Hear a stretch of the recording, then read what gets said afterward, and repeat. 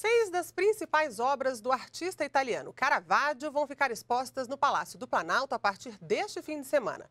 É a maior exposição do pintor realizada na América do Sul. No Brasil, ela já passou por Belo Horizonte e São Paulo. A nossa equipe acompanhou os preparativos finais da montagem da mostra.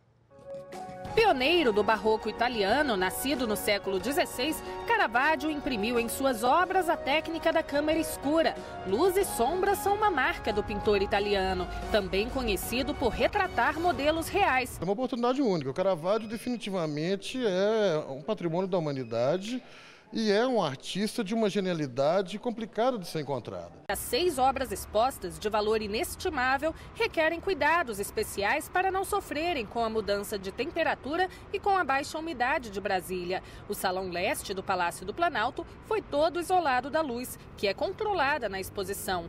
Tudo para manter intacto esse patrimônio. Comemoramos em 2010 os 400 anos da morte dele, portanto, é uma obra que requer muitos cuidados de conservação, tudo isso, mas foi com imenso prazer que a Superintendência de Roma autorizou a vinda de seis Caravajos, que eram seis mais importantes, as seis mais importantes obras que estavam na exposição. A medusa, pintada sobre madeira, fica preservada dentro de uma vitrine. A obra, estimada em 55 milhões de euros, pertence à família deste italiano e é a primeira vez que sai da Itália. Ele diz que quis compartilhar com o público a famosa famosa obra de Caravaggio. Second Twin Sister Medusa.